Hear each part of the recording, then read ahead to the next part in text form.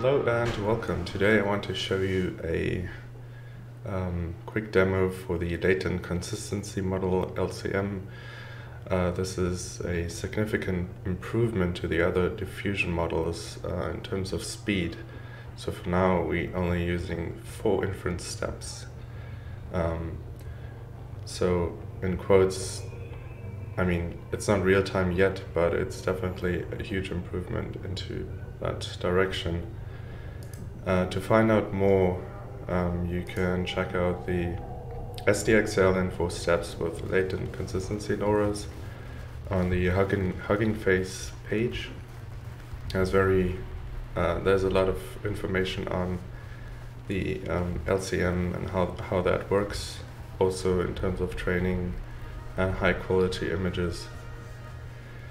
Um, this was built by um, Radar um, on GitHub. You can check this out and then also try and run this locally using a Conda environment I would suggest. So Python 3.10 or 3.11 works well. And then you can just run pip install uh, minus r requirements.txt.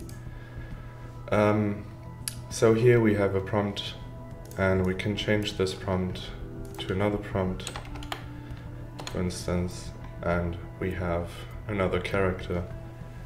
Uh, it also detects the hands quite well, I think.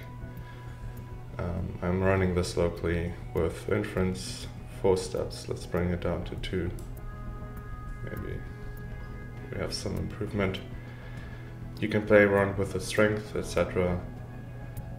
But um, yeah, for now, this is a quite fun way to explore um, diffusion models more in the direction of interactive real-time applications. So thanks for watching. See you. Bye bye.